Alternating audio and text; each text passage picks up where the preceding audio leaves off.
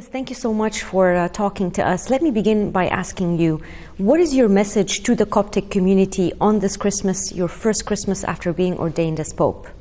Uh, firstly, you are welcomed and uh, Happy New Year and uh, Merry Christmas. The most important message is one of happiness. The world today needs to get happy, especially here in Egypt. What is your message to the Egyptian people as a whole? The same message, but I would like to add that we need stability in Egypt, especially after two years have passed since the revolution. We need a new beginning. We need to stop street protests and start a journey of work and construction. I invite all Egyptians to work and to build a new Egyptian community. The church was clearly unhappy with the process of drafting the constitution. Your delegation withdrew from the Constituent Assembly. What was your reaction when the constitution was passed recently in the referendum?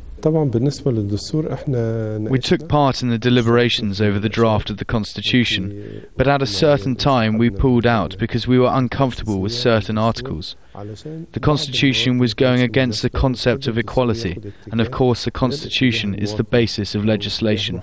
We will follow the practical implementation of these articles and will see if it will convey a spirit of extremism or not. Then and there, we will react accordingly. So, do your calculations or your approach as a pope, as the head of the Coptic Church, uh, do you feel that they're going to be different given the political environment now? Oh, uh, In the past decades, Copts have been marginalized, but after the January 25 revolution, Copts, like the rest of Egyptians, have started to express their opinion freely. Note when previously, when Copts had problems, they would protest inside the cathedral, but after the revolution, they now go to Tahrir or outside the state TV building. This is one of the revolution's positive goals. From my end, I will try, alongside all the bishops and priests, to focus on the spiritual role of the church, followed by its social role. Therefore, the political role will have no room left, except if you consider defending equality part of politics. I do not consider it so. Is it your tendency now to try to pull the church a little bit out of politics? Indeed, the church needs to remain out of politics. The church is a spiritual establishment.